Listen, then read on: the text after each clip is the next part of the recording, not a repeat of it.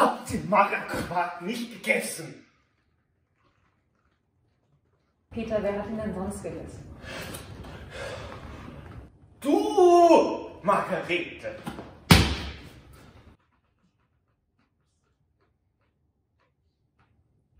Was soll ich dazu noch sagen?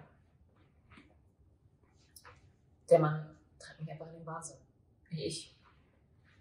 Erst der Quark, dann der Berg, dann das Alien, das übrigens sein Sohn gewesen ist mit einem allergischen Schock.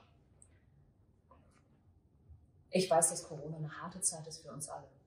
Aber ich schaffe das nicht mehr, der Mann.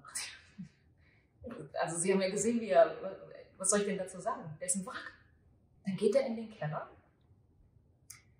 klaut mir meinen Magerquark, macht er sich ein Häuschen in einer Toilette, die da seit 15 Jahren steht, und frisst den Quark aus dem Klo. Niemand weiß warum. Barfuß rennt er rum, schreit. Aliens sind hier. Also. Ich habe einen sechsjährigen Sohn, wissen Sie? Das hier ist kein Vater. Was würden Sie denn tun?